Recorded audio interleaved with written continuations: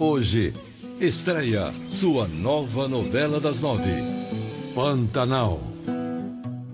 Hoje, estreia sua nova novela das nove, Pantanal.